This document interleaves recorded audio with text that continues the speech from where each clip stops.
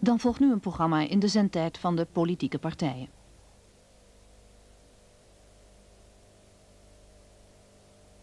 Goedenavond kijkers. Het kan in het politieke leven soms vreemd lopen. Neem nu bijvoorbeeld de Haagse wethouder Ramlal. Hij heeft als wethouder meegeholpen honderden miljoenen guldens van de gemeente zoek te maken. Als beloning wordt hij nu lid van de Tweede Kamer. Dat lijkt dus een geschikte kracht om ook de staatsfinanciën verder in het honderd te schoppen. Dat komt er goed uit, want de regering is niet van plan het land gezond te maken. En dat kan ook niet, als de grenzen wijd open blijven staan en duizenden werklozen ons land blijven binnenstromen. Die mensen brengen grote kosten met zich mee. Zij moeten worden gehuisvest, onderwezen en te werk gesteld. De Nederlandse bevolking kan of moet daarvoor betalen. Het gevoerde beleid heeft het land straatarm gemaakt, zegt Lubbers zelf. Logisch dat de CD daar kritiek op heeft, ook al bevalt dat de andere partijen niet. De CD wijst al jaren op toenemende spanningen in onze samenleving. Zo kunnen mogelijk spanningen of conflict ontstaan met vooral de aanhang van de fundamentalistische islamieten. De CD vindt dat in een goede democratie de regering aan de kiezers hoort te vragen of wij goed vinden dat onze samenleving in een multiculturele wordt veranderd. Maar dat is nooit gebeurd. De regering rommelt maar wat aan om dan Lubbers te laten constateren dat de samenleving ziek is. Daar kopen wij niets voor. Het beleid moet om.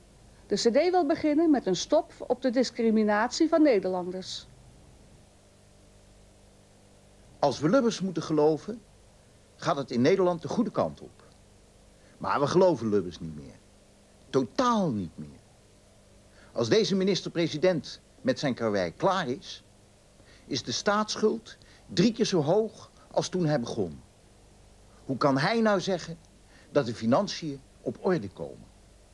De schuld is zo hoog dat iedere werkende Nederlander van dat bedrag een dure personenauto had kunnen kopen. Die hebben we niet.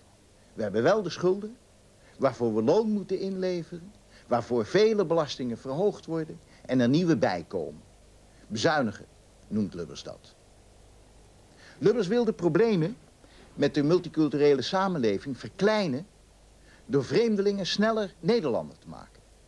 Als u hier vijf jaar bent, mag je Nederlander worden. Lubbers doet dus nu, wat hij in het verleden heeft ontkend, minderheden in de watten gaan leggen. Want hij heeft er geen eisen bij gesteld. Hij heeft niet gezegd dat ze Nederlands moeten spreken. Hij heeft niet gezegd dat ze hier ingeburgerd moeten zijn. Lubbers gaat dus cadeautjes geven. Nederlanderschap, een exportartikel. In de Tweede Kamer zit voor de Partij van de Arbeid de heer Apoustelou. Hij is nu Nederlander, was in het verleden een Griek... en, zegt de heer Apoustelou, een Griek blijft altijd een Griek.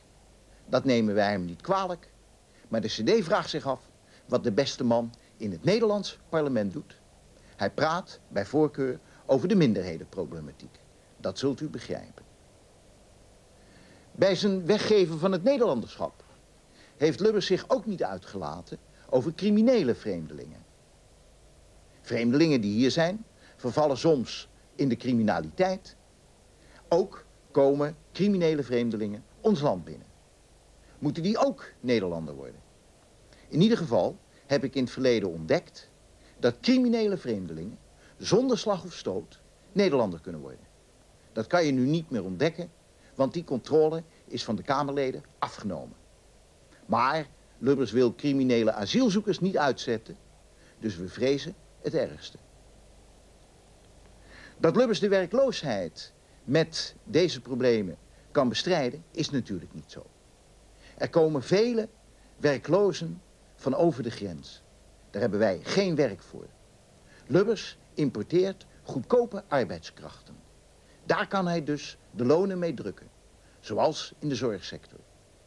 De minister-president gelooft ook al niet meer dat je met hoge lonen de arbeidsmotivatie kan verbeteren en meer mensen aan het werk krijgt.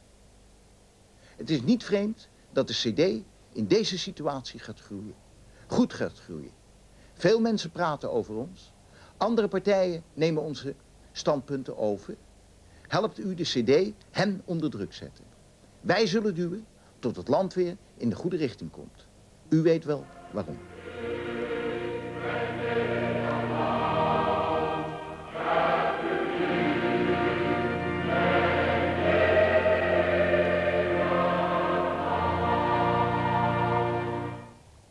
Dit was een programma in de zendtijd van de politieke partijen.